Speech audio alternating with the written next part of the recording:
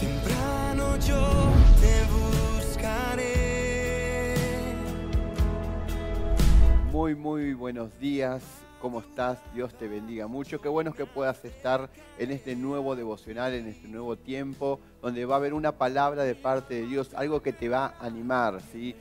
Sabemos que estamos acá, sabemos que estamos expectantes, esperando algo nuevo de parte de Dios. Me gusta esta palabra que dice en la Biblia, Ebenezer. Hasta aquí nos ayudó el Señor, hasta aquí. Y siempre cuando estamos confiando en Dios, cuando estamos atentos a lo que Dios quiere hablarnos cada día, sabemos que ahí tenemos la seguridad de que Dios nos va a ayudar en todas las cosas. Así que, bueno, prepárate en este día, en este tiempo que vamos a compartir este pensamiento y vas a salir muy, muy bendecido. Ya en unos segundos estoy compartiendo la palabra de parte de Dios.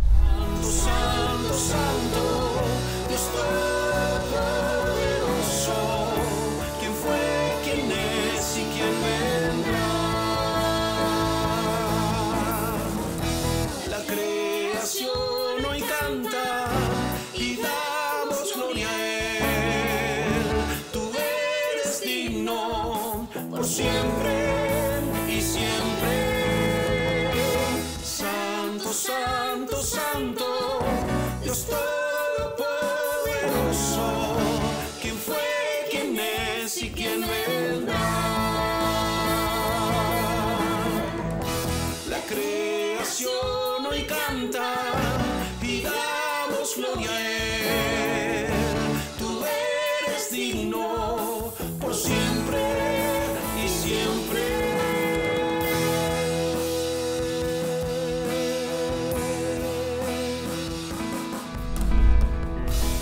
Nuevamente y quiero compartirle entonces un texto de la palabra de Dios en el libro de Proverbios capítulo 18 versículo 21.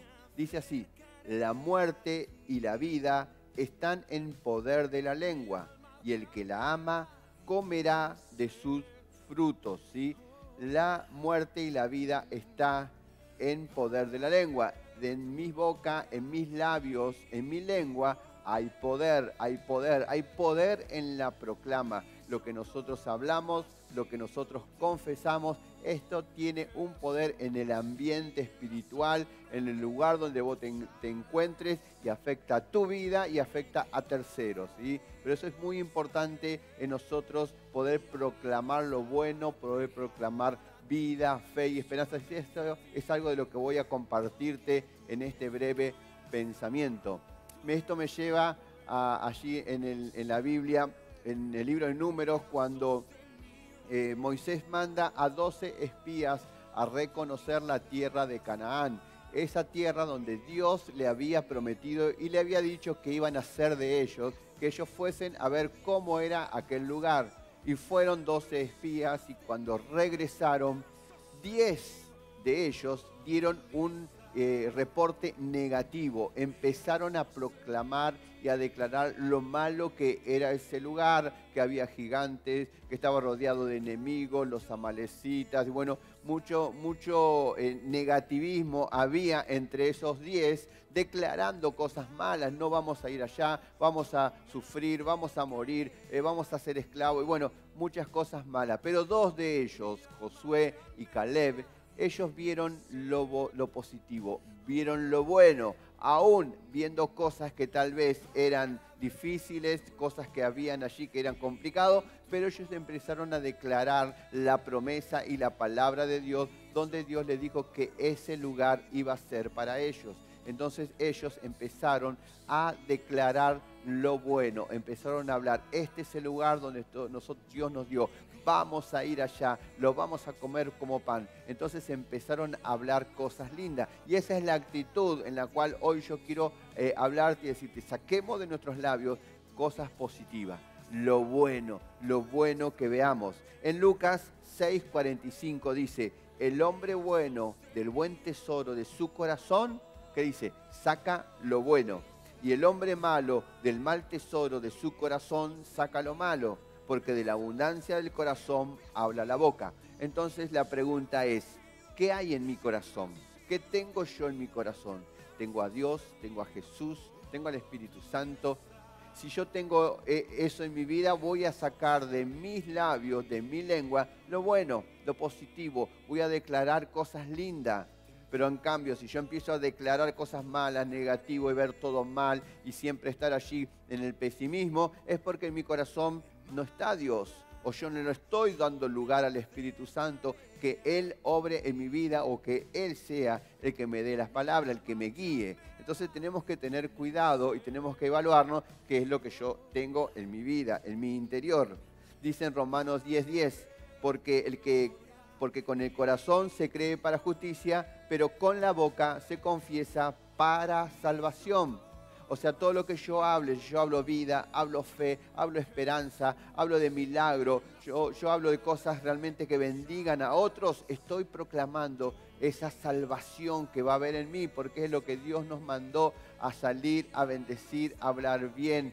¿sí? Entonces yo tengo que empezar de mis labios a sacar cosas buenas, positivas, aún en medio de las circunstancias, aún en medio de las cosas malas, siempre creyendo en que si Dios está, yo voy a tener victoria.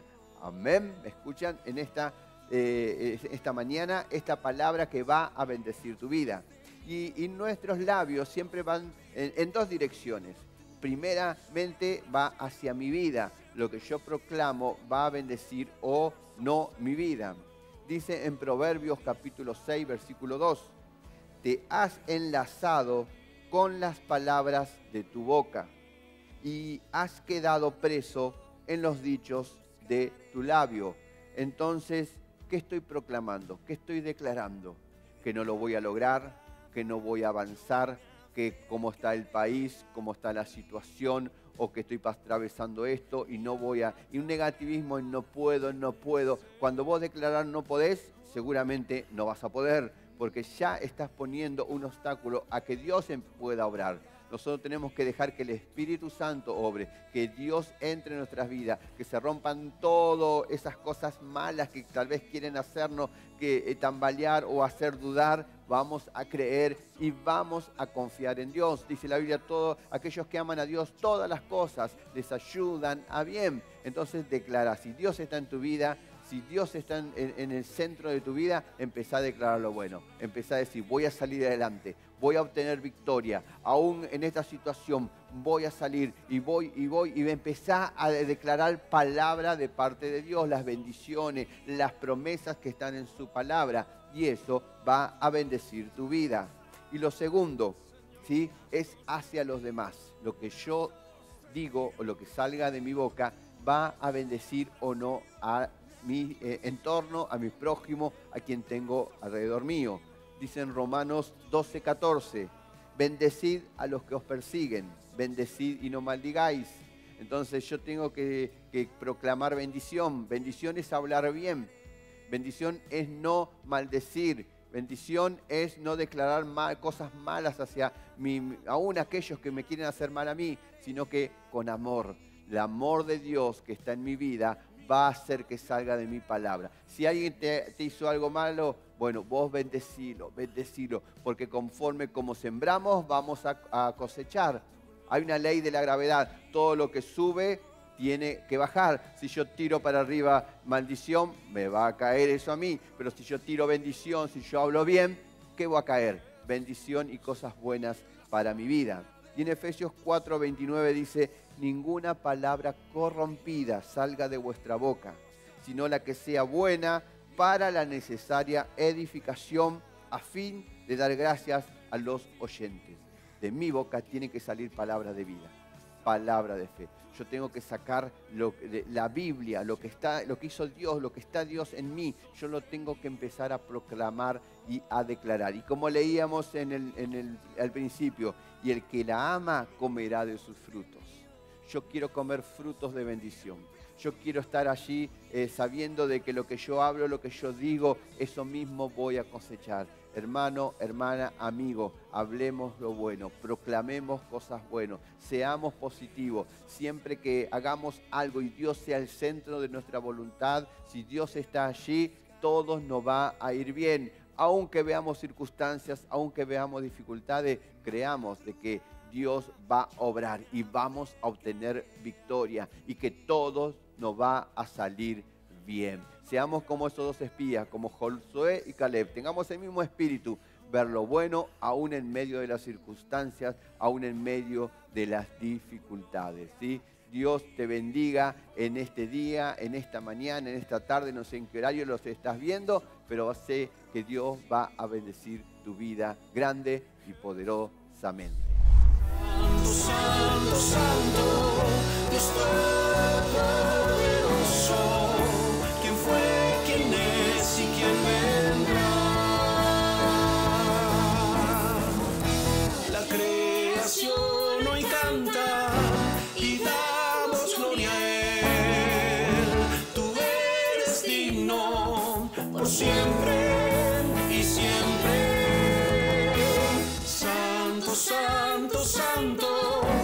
Dios Todopoderoso,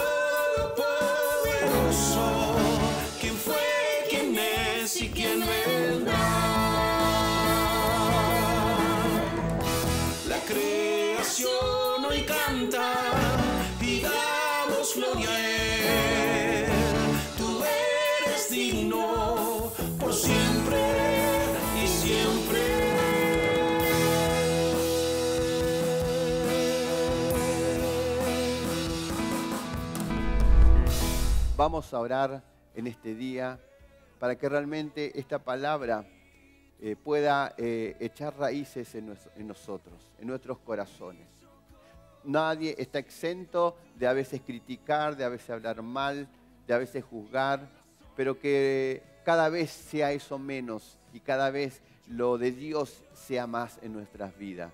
Dios sea el que tenga el protagonismo. Y si Dios está en mí, yo voy a hablar palabra de bendición. Jesús aún allí en la cruz dice, Jesús, Dios, no le tenga en cuenta.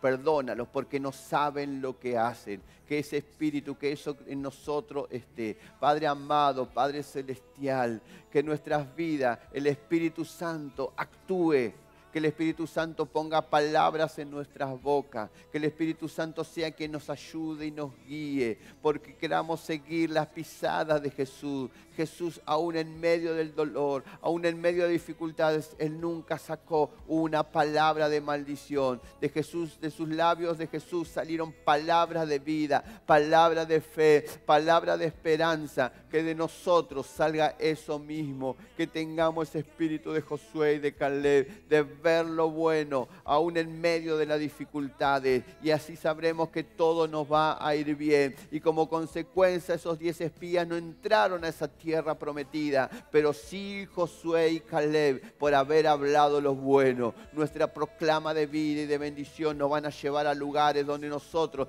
no, ni nos imaginamos, donde nos va a llevar al propósito de Dios. Declaremos lo bueno, declaremos vida, declaremos que Jesús es que tiene el control de todas las situaciones, en todo momento y en todo lugar. Sí, Señor, bendiga la vida de mis hermanos, que en este día ellos puedan empezar a proclamar la palabra de Dios, que ellos en este día empiecen a proclamar fe, porque tenemos a Jesús en nuestros corazones. Y si está Jesús en mi vida, eh, como consecuencia de mis labios van a salir palabras de vida, palabra de fe, palabra de esperanza. Y eso es lo que necesitamos en este tiempo. Tal vez un, un tiempo donde lo- los, aquellos que no conocen de Dios declaran lo, lo malo, maldicen, dicen que no vamos a, a prosperar y avanzar, pero nosotros, los hijos de Dios, Él es el Dios, es quien toma el control, Él es quien reina, Él es quien gobierna, y si Él está con nosotros, si Él está por nosotros, no habrá nada ni nadie que se quiera oponer, que venga en contra de nosotros. Gracias Señor por este día, gracias Señor por este tiempo, y a ti Dios te damos toda la gloria, toda la honra y toda la alabanza por los siglos de los siglos. Amén, amén y amén.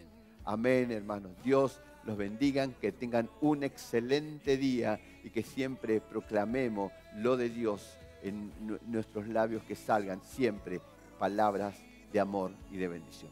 Dios te bendiga. Gracias, gracias Señor, gracias mi Señor Jesús.